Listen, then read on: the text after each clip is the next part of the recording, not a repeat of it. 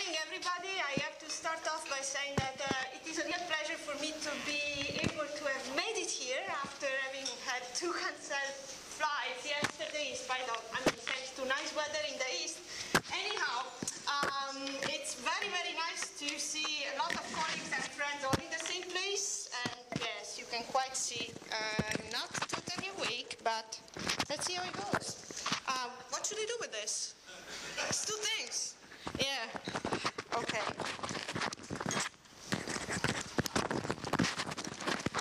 You're making this complicated on me. Okay, uh, better. So I will build on the first talk that Daniel just gave, and the purpose of my own tutorial is to try to introduce you to the other kind of major strategies that we have come up to try to overcome the effect of errors in quantum information processing. One is uh, passive error control via uh, decoherence-free subspaces and noiseless subsystems. The other is active error control via dynamical decoupling. And I mean, as you probably can guess already, this is a lot of material to squeeze into less than an hour talk, so I'm not really sure that it's going to come up as pedagogical as a tutorial is supposed to be, but it is my hope that at least all of you will be able to get out the main physical insights and the main ideas that underlie these different techniques. I'm pretty sure that a lot of concepts will be picked up and uh, addressed in more depth by other talks later during the week.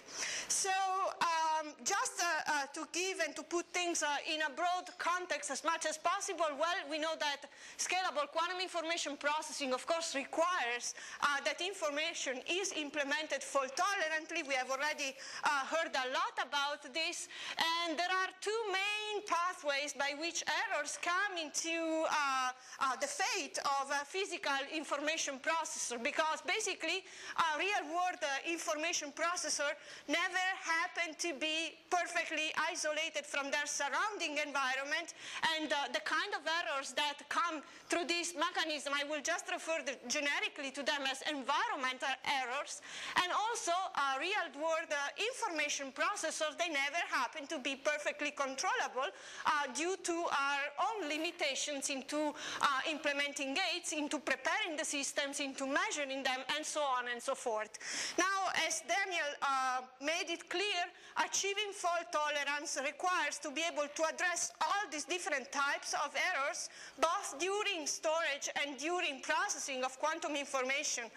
Most of what I am going to focus on in this talk will just be concerned with preservation of quantum information in the presence of environmental errors. So that's just a big prerequisite toward getting to, full, to a fully fault-tolerant picture. But basically, uh, the kind of central insight I want to stress is, is just the same, and it is the fact that quantum information can be encoded into subspaces which are described by error-correcting codes and can be appropriately recover, recovered after errors uh, have occurred. Now, um, thinking to a general framework where I wanted to put all of what I, the different things that I'm going to tell you about, in a way, I like to think of all what all I am going to say as trying to answer a main question, which is what really are the most general options in addition to the ones that we already learned about from quantum error correction for thinking to encoding information and to recover it from the action of error. Uh, just to be more specific here, there are two questions. Perhaps can we be lucky and identify error settings where maybe no active recovery is uh, needed at all? And this is the main philosophy that is going to underlie uh, the idea of purely passive error control and therefore DFS and NS theory.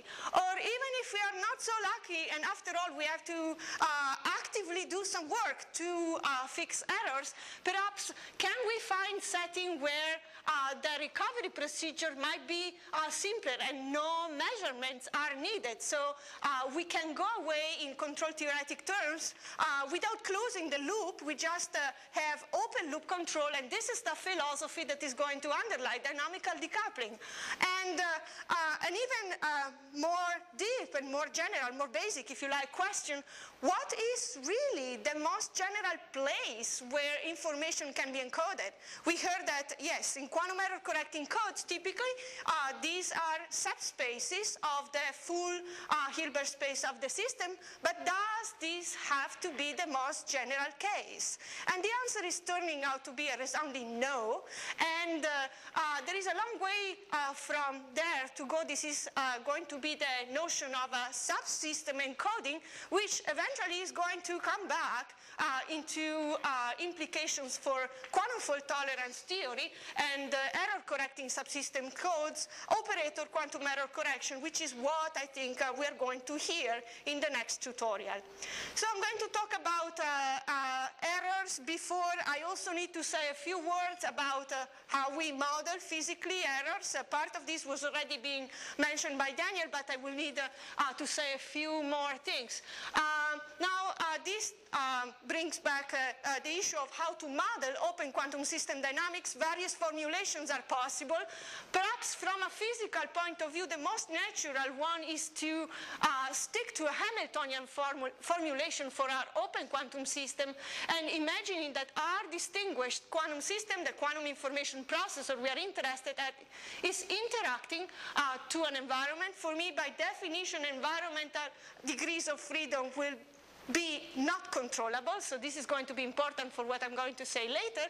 So we have a total Hamiltonian which includes uh, the self-Hamiltonian of the system, the self-Hamiltonian of the environment, the coupling term, and notice that I can rewrite this in this form, and for the purposes of this talk, which is going to be on preservation of quantum information, I will include the Hamiltonian, so unitary errors due to the Hamiltonian evolution among the error generators uh, of the error process I have.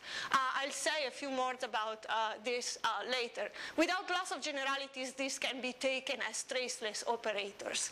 Now, uh, given this coupled uh, Hamiltonian evolution, well, uh, we are just going to be interested at the reduced dynamics of the system and that is going to be given by partial trace of the couple evolution in this form, provided we can which is not al always an obvious assumption, start from uncorrelated initial conditions. Um, the form of the reduced uh, dynamic evolution uh, turns out to be described for fixed time in terms of what we uh, call a completely positive trace preserving map in terms of Kraus or error operators, which uh, I have denoted by EA.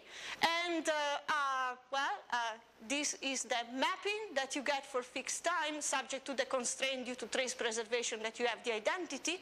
One important thing that uh, is worth keeping in mind is that this description is in fact uh, the most general uh, state change that is allowed by quantum mechanics. So in fact, it doesn't have to come from an underlying Hamiltonian picture. And this is what I will mean when I will be referring as to quantum noise within the quantum channel or CP map formulation. It is just possible to talk about these two pictures. In one case, we have a Hamiltonian that is giving uh, the quantum operation at different times. In one case, we might just be looking at fixed time and one interaction of the environment with the system and just stick to this formulation. Now, there is another important, physically very important uh, description of open quantum system, which is the Markovian semi uh, uh, description, uh, I have picked these two uh, formulations which are both formally exact. They do not incorporate the Markovian assumptions, both because uh, they are exact and because they are most natural for the context I am interested in. In particular, decoupling won't make any sense to be considered within Markovian limit. But one thing I want to stress is that uh, decoherence-free subspaces, Noiseless subsystem theory has been developed also for for uh, Markovian uh, evolutions. I just won't have the time to tell you about those here. So uh, sticking with the two descriptions that I have given uh, for uh, open system dynamics which generate errors, what are mathematically useful ways to picture the relevant error sets that our error control strategy is intended to correct for? Now, I just have a quantum operation that describes the system dynamics, uh, well, first of all, uh, the Kraus operators are never going to be defined uniquely. They are always defined up to unitary uh, mixing with respect to the original uh, Kraus operators. And also, as we heard before, uh, well, quantum mechanics is linear, so it's quite natural in everywhere in every possible way to assume that for a generic uh, quantum operation, the relevant error set uh, is closed by linear, uh, by linear combination. So something like this, where EQ is complex linear combination of the error operators we have.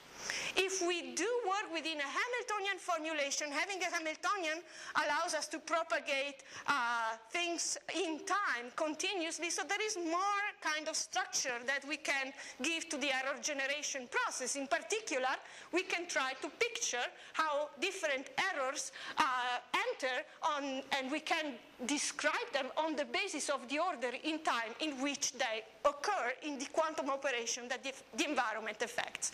So all I'm trying to say is that if we look uh, conceptually at kind of a Taylor expansion of the quantum operation that the environment performs, we can think that to lowest order in time, basically uh, all, uh, all that the environment could introduce into the evolution of the system is errors which are, well, if we're lucky, then error, the identity, or otherwise errors which are linear combination of the basic error generators that we have. And this error set is going to be relevant for decoupling because decoupling is going to basically symmetrize and intervene in the dynamics uh, at very, very short uh, separation of time scales. If time goes on, then you will have the opportunity to generate second order error. And ultimately, if you are interested to look at uh, uh, arbitrary long time, what are the possible errors that Hamiltonian uh, um, evolution can generate? They happen to all belong to what is called the error algebra, which is generated by uh, these operators, which are the linear error operator here. So what that is, is nothing but uh, all the complex polynomials in the identity. The identity is one of our errors, the good one, and the error generators we have. This is an algebra in the sense that you can uh, multiply operators and still have the operators belong to the set. And also, uh, one thing that I want to stress because it's going to have mathematical implications for later, um, if we are within a Hamiltonian formulation, actually every time that we can assume that if an error happens, also uh, the uh, Hermitian uh, conjugate error happens, well, the, the error set that describes the process is, is closed under Hermitian conjugation, which means that in this case, this algebra is also star closed. Um, now, I want to stress that it doesn't have to be the case for a generic quantum operation that if you have an error, also the Hermitian conjugate of that error uh, is in the error set. So this is important to keep in mind in terms of uh, looking for characterizations and also for methods to search for uh, protected uh, structure. But let's make a big step back and start from the beginning.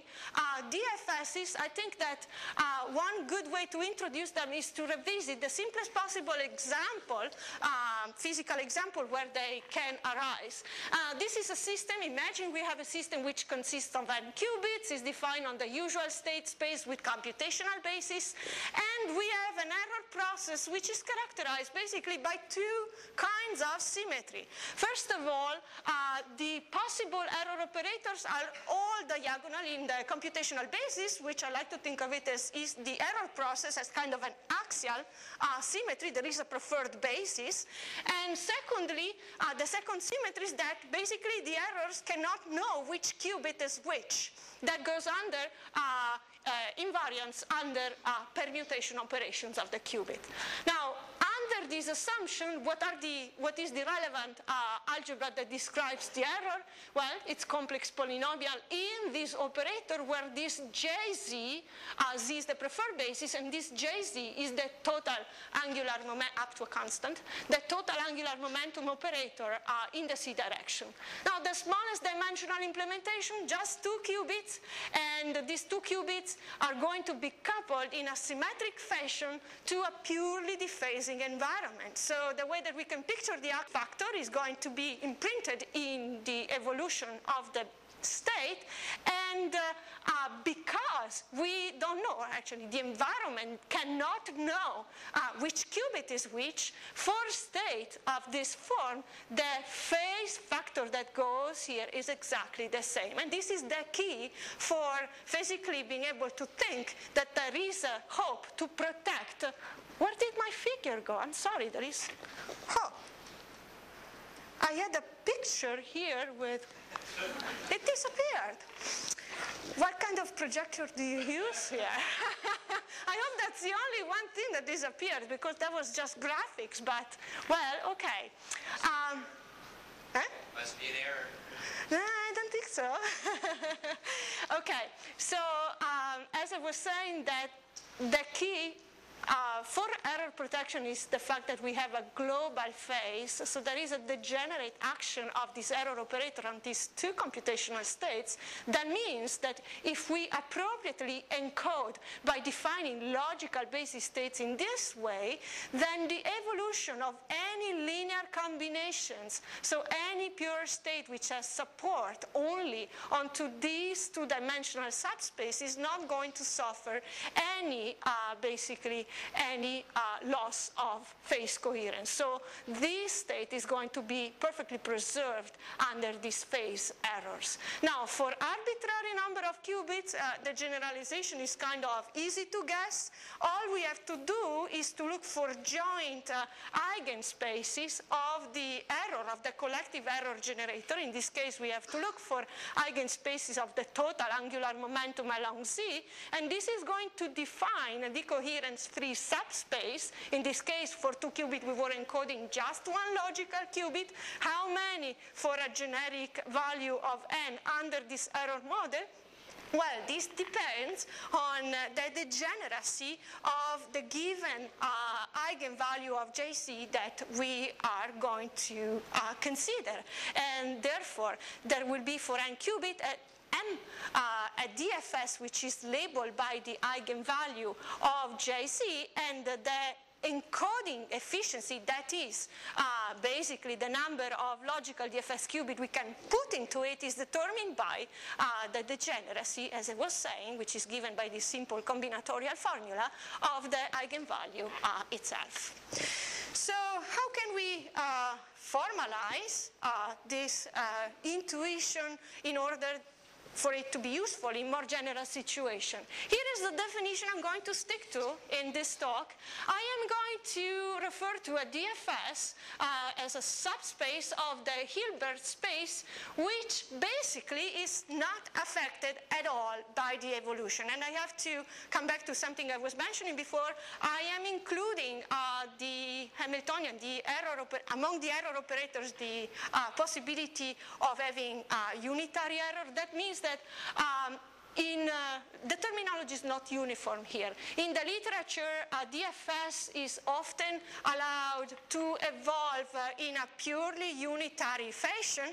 Uh, for the purposes I am interested here, because I said I want to just store quantum information, to me it's more natural to look for situations where there is no evolution at all, and I will distinguish between this no evolution at all and the one where uh, you can have just purely unitary evolution as saying just noiseless or unitarily noiseless. But I just want to warn you that, uh, as I said, terminology is not fully consistent here. In any case, the key insight is just the one that we learned from the example before, and uh, for the purposes of getting a characterization of a DFS, the useful thing is to check whether we can have um, degenerate error behavior. And let me just uh, go through the, for instance, the, what happens in the Hamiltonian formulation. Suppose that we have our, J, our error generator, the J, what I call the J alpha, and suppose indeed that they are admitting uh, eigenvectors. These are joint uh, eigenvectors, uh, and there have to be a certain number of them if we want to encode quantum information, not just one, otherwise it would be classical information. But the key thing is that this eigenvalue here depends only on the error that happens, but not on the particular uh, state that we have. If this is the case, and if we consider a state which is going to be our initial state, which is supported only by this joint eigenvector here, then what happens to, the, uh, to, the to this state in the uh, evolution over time? Well, all this happens is nothing. It is fixed by the dynamics, and this may be seen, for instance, uh, here, taking the full Hamiltonian, having this operating on, well, tensor product, this is an uncorrelated initial state, and because of the condition that we have here for eigenvalue, value uh, uh, in the part, uh, in the system uh, environment Hamiltonian, then what you can have is just the same state, the logical state here, times something else for the environment we don't care about because eventually we're going to trace over the environment. Now, formalizing this into kind of necessary and sufficient, or some of the necessary and sufficient conditions for the existence of DFS, I'm saying some because I'm not going to write down the ones for Markovian case, well, imagine that we have our Hilbert state space, and we look at that as the DFS sector that we are uh, trying to characterize, plus the orthogonal complement, which is the rest. And for the purposes of writing down this, let me also imagine, imagine that I have made a choice of basis in the Hilbert state so that the first D uh, vectors happen to generate the DFS itself. Now, uh, it turns out that uh, uh, in the Hamiltonian uh, formulation, a system which has a state space H can support a DFS under a given error process with error generator J alpha if and only if the form of the error generator, better said, the action that they have uh, in the representation, in the basis that, that is associated to this decomposition uh, takes this form which means nothing but the fact that the restriction of the action of the error to the subspace itself is a trivial action, is a multiple of the identity. That's exactly the degenerate uh, error behavior that we were seeing in the example and that we are seeking uh, in general. Now, error generators are Hermitian, so clearly in the moment we have this, uh, there is a block uh, structure that emerges here. If we go to the next line here, which is a necessary and sufficient condition for a DFS under an arbitrary, completely positive dynamics, the physical condition is, is still roughly the same in the sense that all the possible Kraus operators, the error operator, have to have the degenerate behavior on the DFS component. That's not going to change. But error operators need not be Hermitian per se. So in this picture, it is allowed that uh, there is some coupling between this uh, orthogonal complement back to the DFS state, but as long as we initialize uh, the system perfectly in the DFS, this has no consequences at all. So you end up having a slightly uh, more general form uh, for the errors than you have here. Okay, so um, let me try to say a few more words. A good example where we can see this general formalism in action is, uh, and more complicated than the first example that I was considering, but similar in a way, is still considering n qubits same state space as before. And uh, I will also assume as before that the environment is blind to which qubit is which. So there is still permutation symmetry in the error process, but in this case, no preferred basis. So basically, errors can happen uh, in X, Y, or Z, or whatever kind of direction you have. So the error process that uh, a situation like this is going to um, depict is, is uh, in general, goes under the name of a collective uh, decoherence process, and the relevant uh, error set is characterized by being described in terms of totally symmetric uh, operators there is something funny with this viewer here. It also chopped the complex. See, errors, okay. That's funny.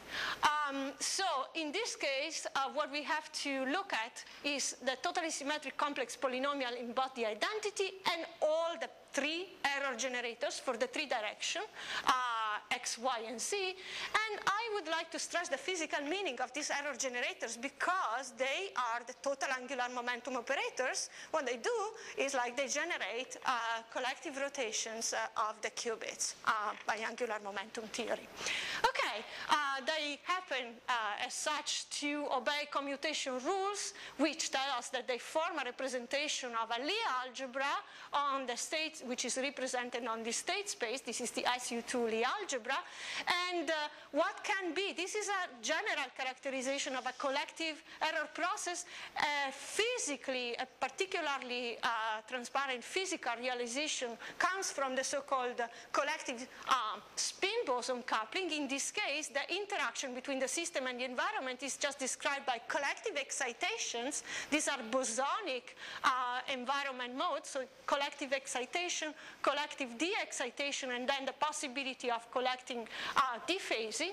Um, so our task is given an error process which obeys this symmetry condition, how are we going to find DFSs and uh, uh, how large are they going to be? We have all the tools uh, from before. What we have to look is joint eigenvectors of the error generators. The physical intuition behind, we said that error generators here, they generate the collective rotations on the spin space. We are looking for, uh, for DFS condition, we are looking for states which are invariant under the action of these errors, but we know from uh, angular momentum theory that states that are invariant under rotations are scalar, are those which in group theoretical terms, they transform according to the one-dimensional, irreducible representation of the rotation group into, in three dimensions. These are well known. These are the singlet states, uh, and they correspond to the total angular momentum eigenvalue j equal to zero. So we are almost there, except that if we want to be able to encode, let's say, a full DFS logical qubit, we need a two-dimensional space. So we need at least uh, uh, two linearly independent such states, so we need at least two copies of the singlet representation to occur.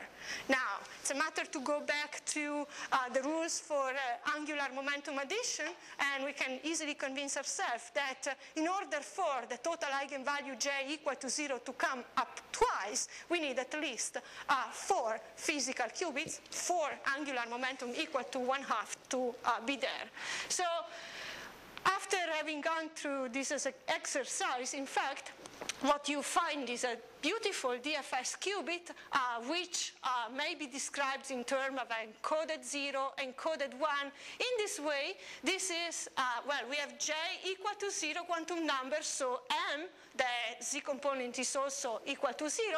This eta quantum number is where we encode the information. Uh, this eta equal to 0, that's the first copy of the singlet. Eta equal to 1, just say, this is the second copy of the singlet. And what you have here, what I put down here is the way in which you can construct these four uh, qubit states by pairing together uh, the first and the second qubit and then the third and the fourth. So this is a singlet state for one and two, singlet for three and four. And what you have here instead, it would be the uh, z equal to plus one component of the triplet for the first two qubits, tensor the z equal, jz equal to minus one uh, component for the triplet, for 3 and 4, and so on and so forth. Now, here we have two copies of the singlet, a two-dimensional protected subspace, one logical qubit.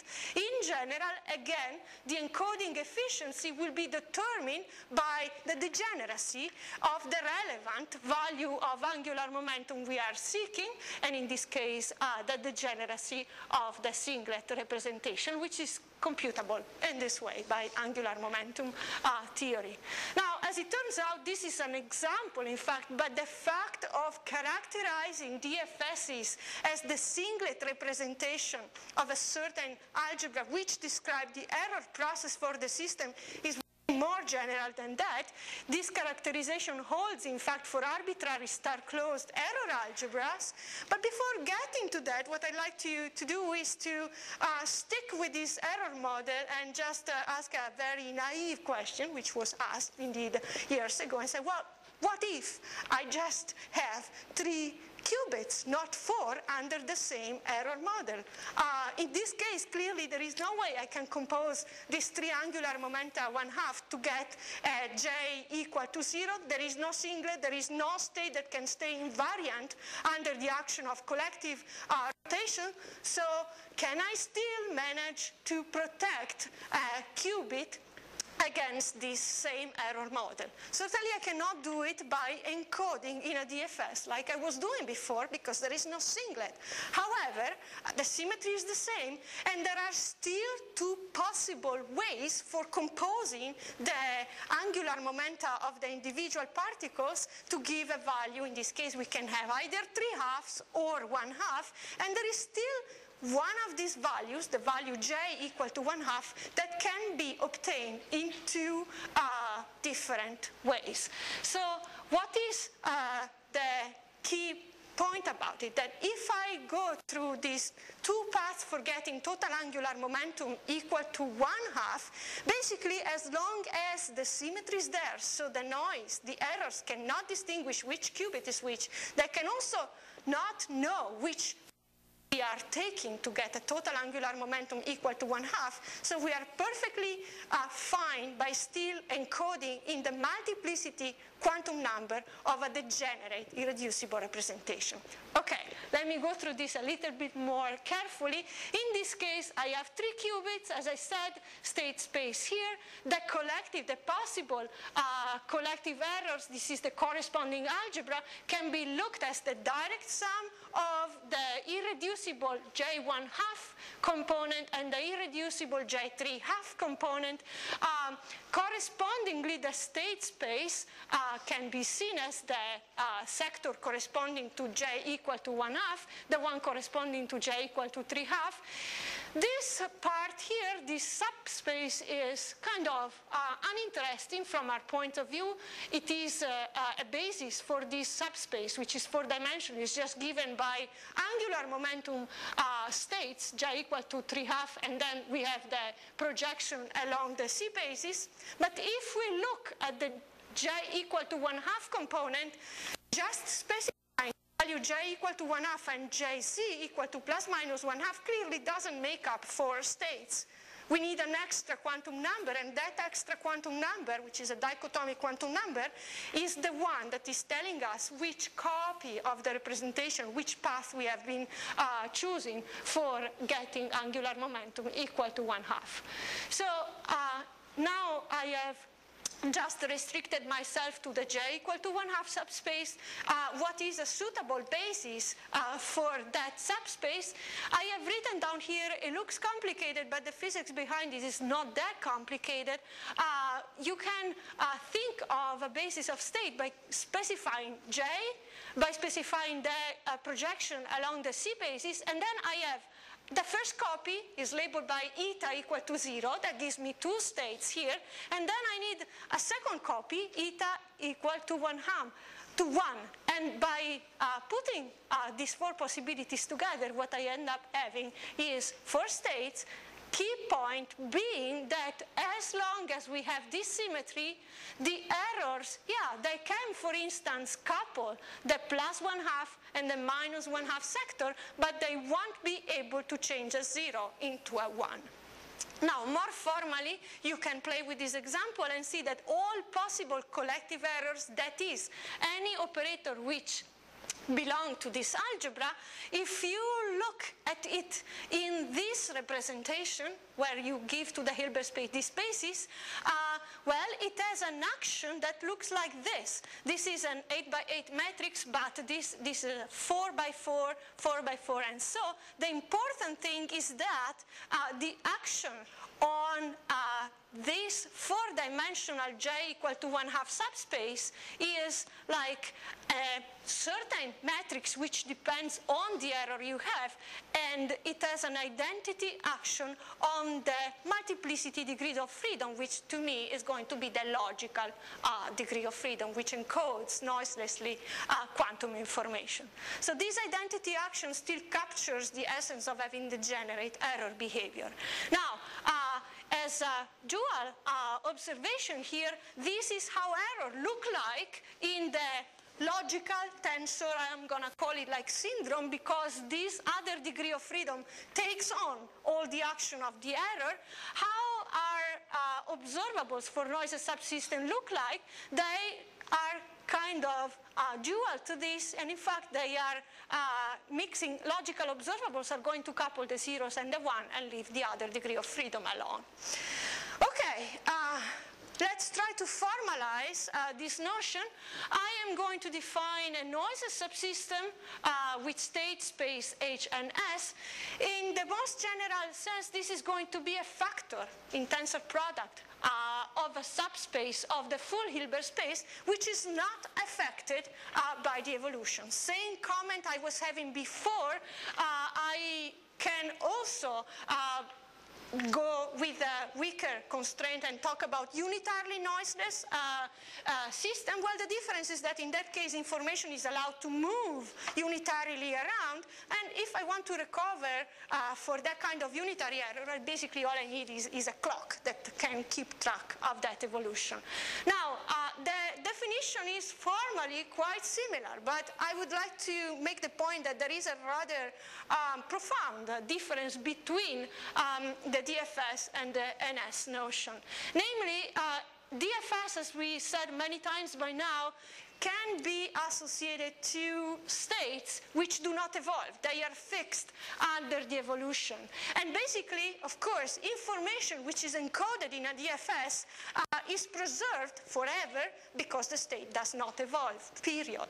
In the case of an NS, uh, uh, well, it is not true that the full state of the physical system will necessarily be fixed by the evolution. However, information which is encoded in an NS is still protected forever uh, because all the errors can do, the bad things that can happen, they only happen in the factor, the syndrome factor we do not care about. Okay, but uh, one thing which is important to keep in mind is that even though I can find some uh, initial states of this syndrome for which perhaps this state is going to be fixed, while in general, for a noiseless subsystem like this, uh, these states need not to be preserved pure state. Now again, uh, necessary and sufficient conditions for uh, NSs. I start in this case with the condition for uh, an NS to exist under a generic uh, completely positive uh, map? Well, again, I look in this case at the decomposition of the state space as the NS factor, the co-subsystem, and the rest. And uh, I will uh, say that NHNS uh, supports, this is the state space of a noiseless subsystem under the error model we have, if there are two things here. First of all, we have to make sure that this subspace here remains invariant under error operators, but most importantly, the action of the relevant error operators has to be trivial on the NS factor. Trivial in the following sense, when I restrict an arbitrary error operator on this uh, subspace, there is an identity that occurs in the noiseless subsystem factor.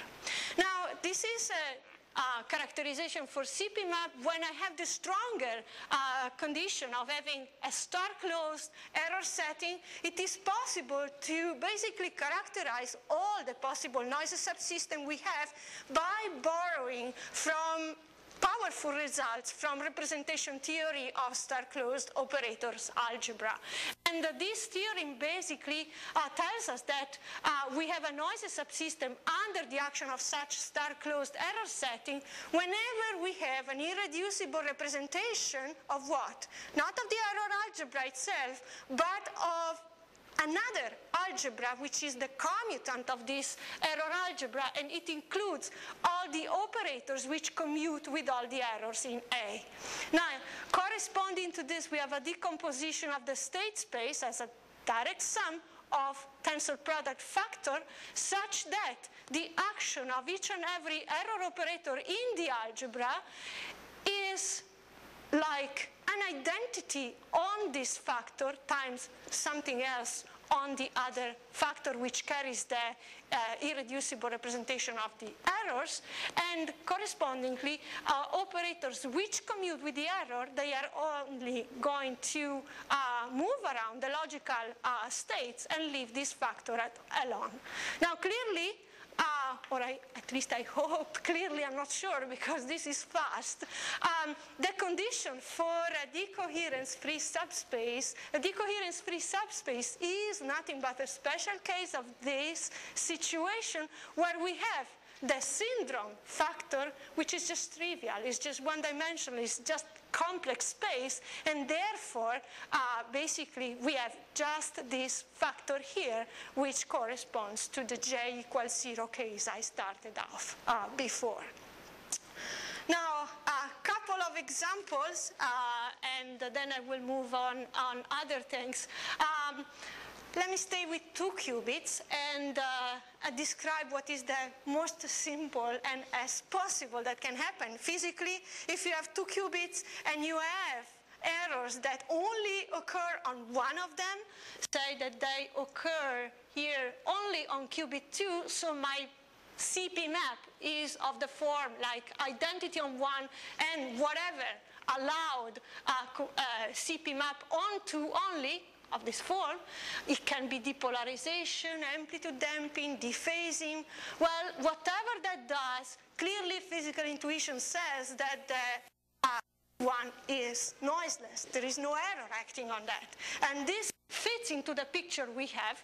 In this case, noises observables of the form uh, of being non-trivial on the first factor and identity here, they commute with errors.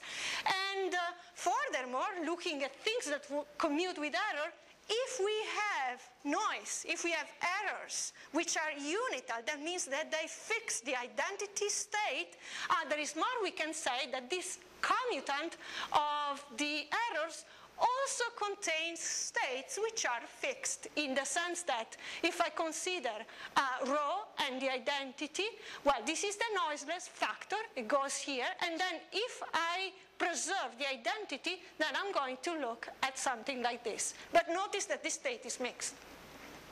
Now, um, Second example, slightly more complicated, and I'll probably leave it to you as a homework, but uh, all it consists of is two error operators, one of which is Hermitian, the other one is Hermitian, and overall you can check that this uh, quantum operation here is non-unital. It does not uh, fix the identity state. What kind of preserved information can we stick into the state space of the system given these errors? Well, we have at least two choices. Actually, we have two choices choices here.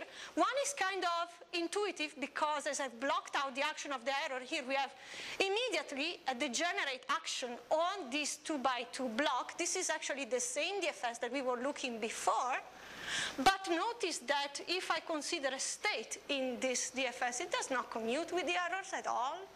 Another one, this is kind of a funny DF, uh, NS, a noiseless subsystem, you can uh, realize that is there under this error process by rewriting, um, by writing down a state, which is there, a state of Bell, a basis of Bell states for this Hilbert space, and uh, associate a quantum number, which uh, I call this the parity, the even or odd, to the fact that you have either a plus or a minus, and then this zero one says like you either have two uh, bits of the same type, so two bits. So this, this one is nothing but the sum modulus 2 of the bit string that you have here.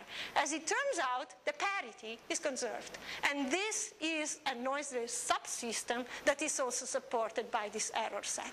Now, one main reason for me to put up this transparency is to, uh, I'd like you to take away the point that if errors are unital, more generally, if the error process can be described by a star-closed uh, structure, well, um, noiseless subsystem can in some sense be signaled naturally from the, by the presence of fixed points which are in the commutant of the error process. But knowing the commutant does not exhaust all the good possibilities we might need for in order to be able to find subsystem. And I think that this, is, uh, this has implication for the question, which I won't address at all, or, well, how am I going to find subsystems in general, constructively, uh, but I'd like you to take this problem problem in mind. It has been solved, but I won't have time to tell you how. Instead, since I have to move on quickly on decoupling, uh, some lessons that we have learned, quantum information uh, is the key quantity we want to protect, not necessarily the full pure state of the system.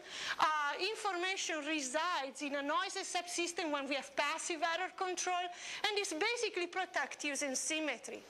Now, this lesson that quantum information resides in a, in a subsystem is actually much uh, broader than we could have uh, thought at the beginning. In fact, it turns out that it is the cornerstone of what has become known as the subsystem principle.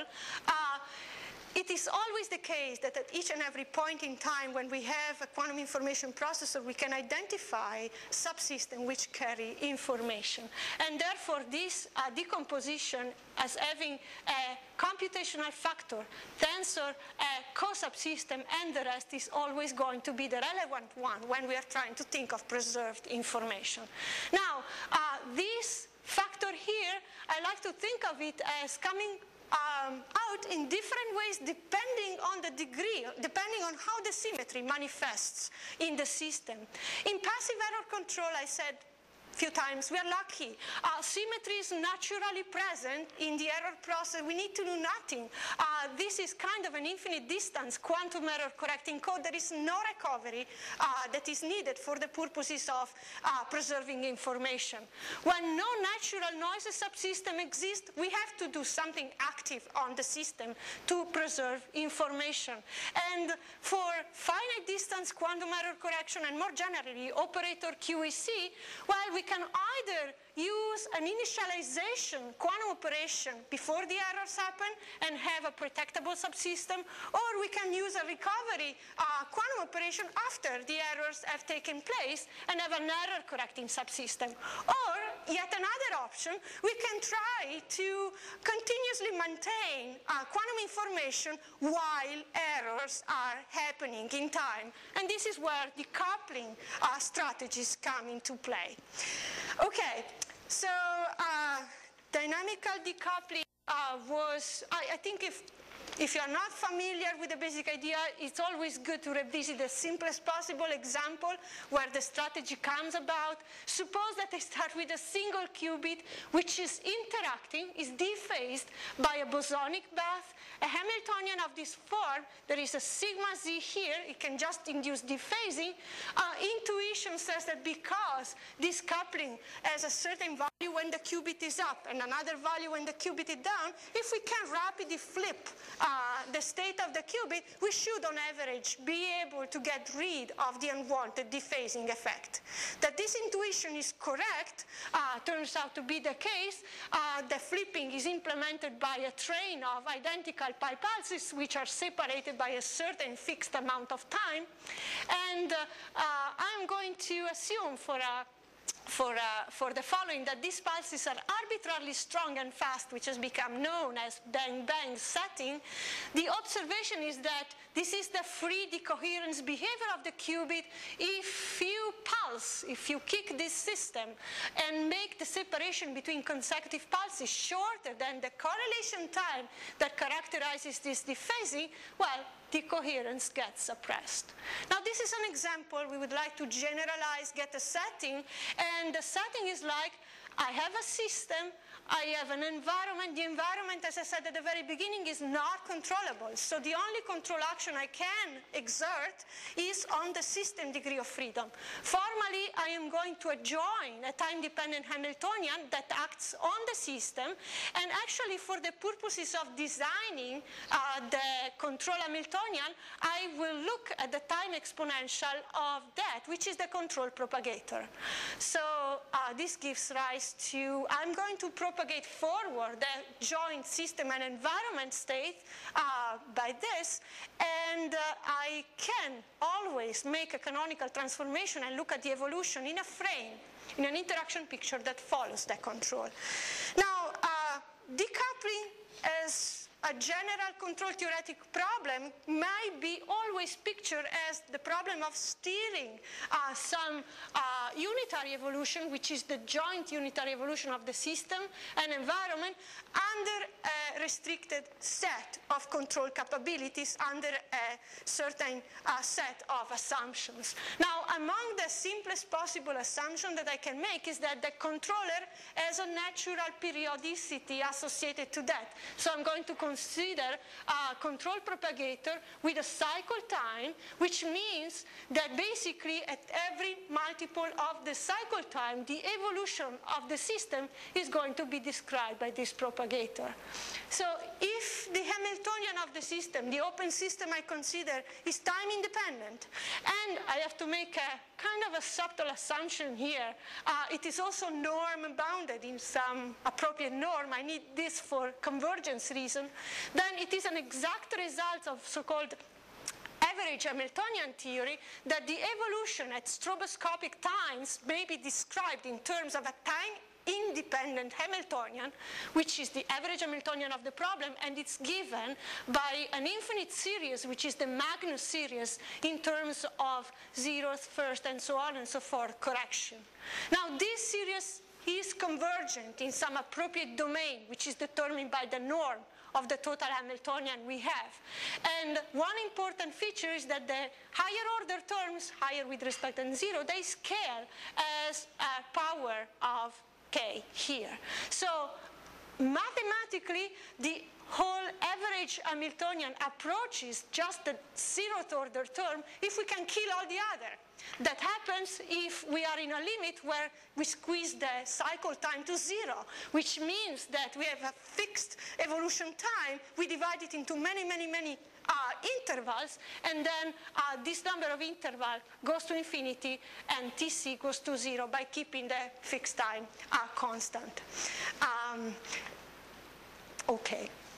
So this is going to be the zeroth order Hamiltonian that comes up. It is not clear, it's not obvious at all to make sure physically that this condition of having a vanishing small timescale is uh, satisfied. That depends on having a time scale, Tc, which is able to be much shorter than the relevant correlation time we have.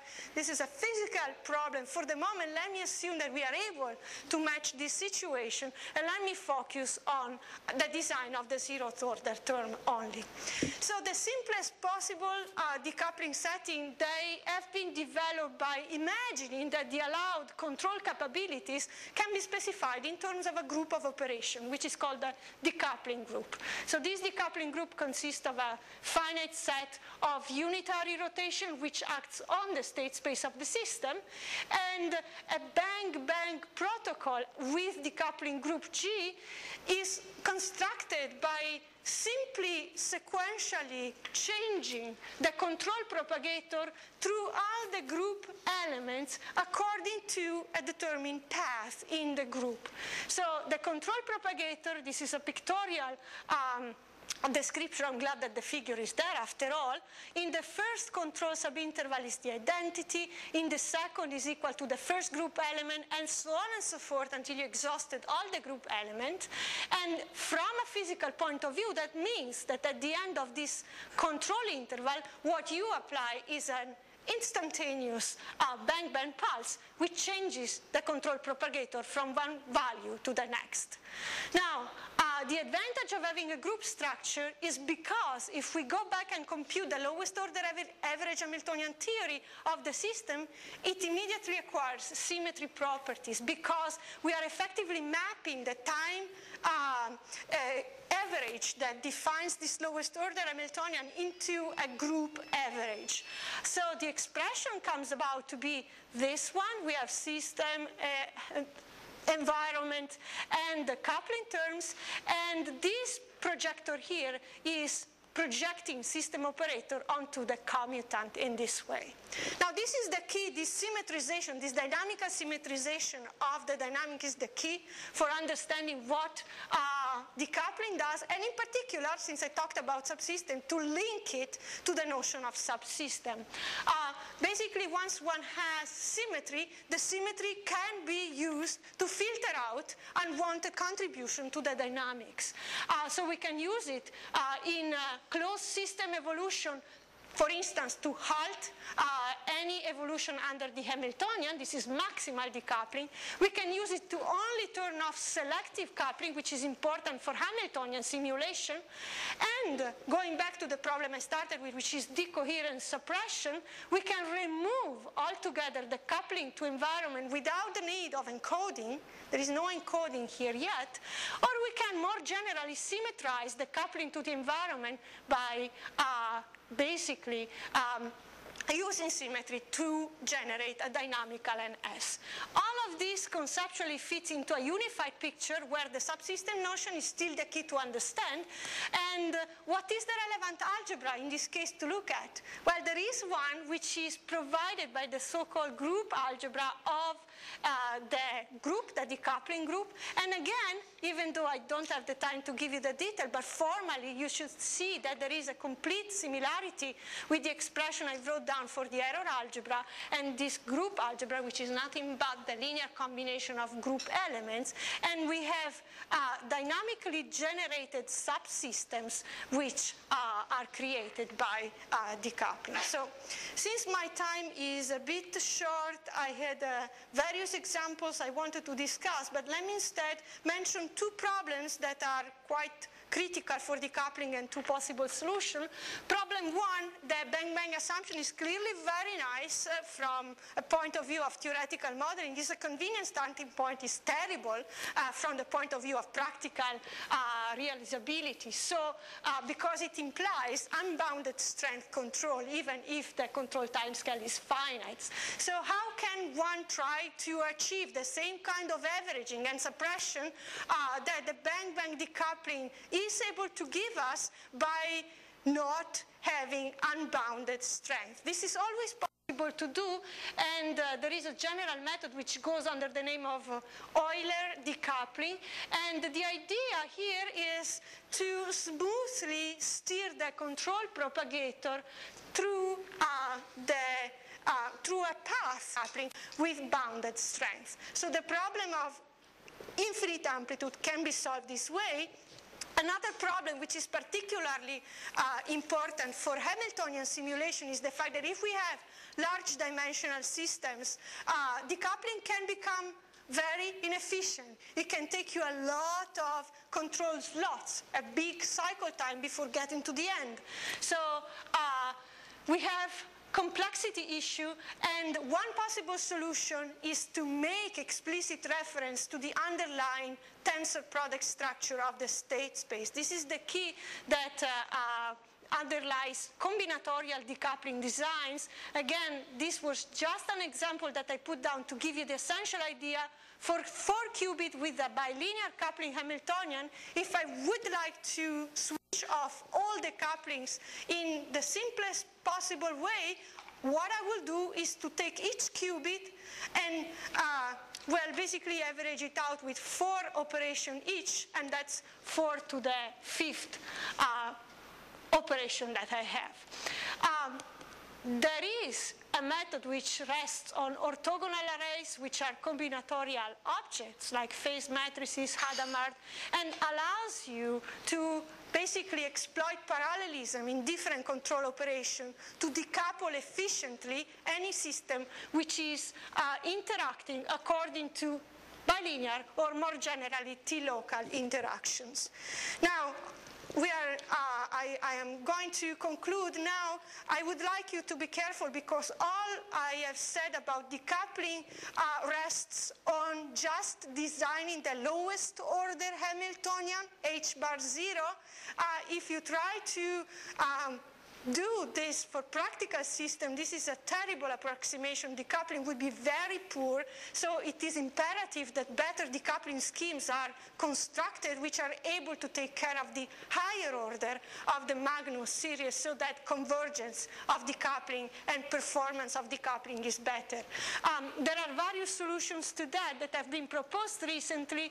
One is concatenated dynamical decoupling. I think we are going to hear about this later the week. Another way, another idea is to give away deterministic cyclic uh, decoupling and invoke some kind of randomization to basically avoid, avoid uh, um, coherent error accumulation and to improve convergence at long time. And I think I'm really uh, getting to my conclusions and uh, uh, main message is that it is possible to have error-protected subsystems even though systems are always noisy and basically error control in quantum information is consisting of maintaining and fault-tolerantly manipulating information in protected subsystem. Uh, you will hear more on how this subsystem idea uh, gives us tool for getting a unified and more powerful conceptual understanding for fault tolerance and to get better codes. And one uh, word I like to stress is the fact I think that ultimately will be important to merge uh, active and passive control for uh, being able to um, protect information under realistic situations, talking about which realistic situation I think uh, Ray will tell us more about where we stand experimentally. So thank you for your attention. There are some references here, and sorry about the extra few minutes.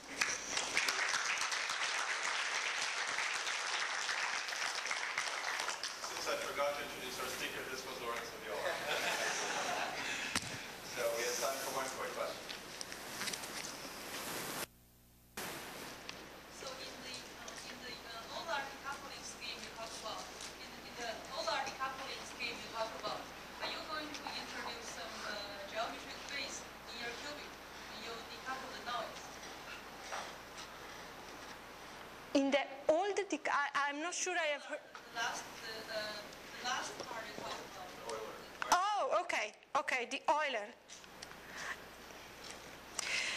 Well, I'm not sure how to interpret geometry. The Euler idea is a trick that gives you a recipe for switching on and off the Hamiltonians that you have available for controlling the system according to two criteria.